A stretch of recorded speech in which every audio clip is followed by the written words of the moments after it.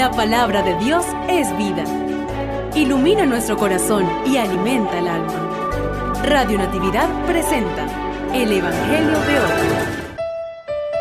Lectura del Santo Evangelio según San Lucas, capítulo 17, versículos 7 al 10.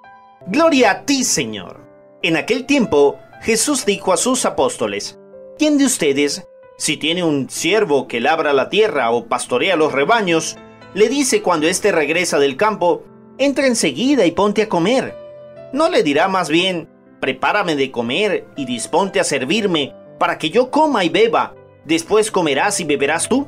¿Tendrá acaso que mostrarse agradecido con el siervo porque éste cumplió con su obligación?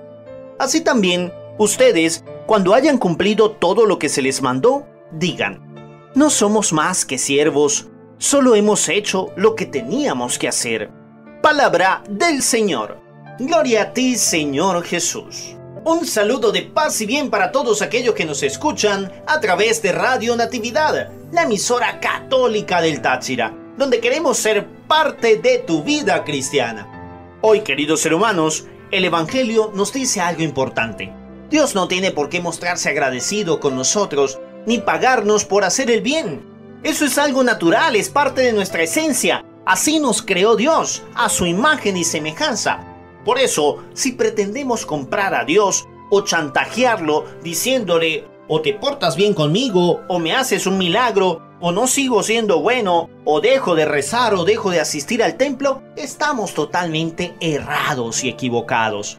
Quien tiene que mostrarse agradecido somos nosotros, por el gran amor que Dios nos tiene a pesar de lo mucho que le ofendemos.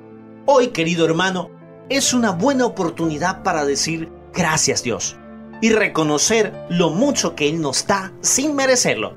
Dios te bendiga. Gloria al Padre y al Hijo y al Espíritu Santo como era en el principio, ahora y siempre, por los siglos de los siglos. Amén.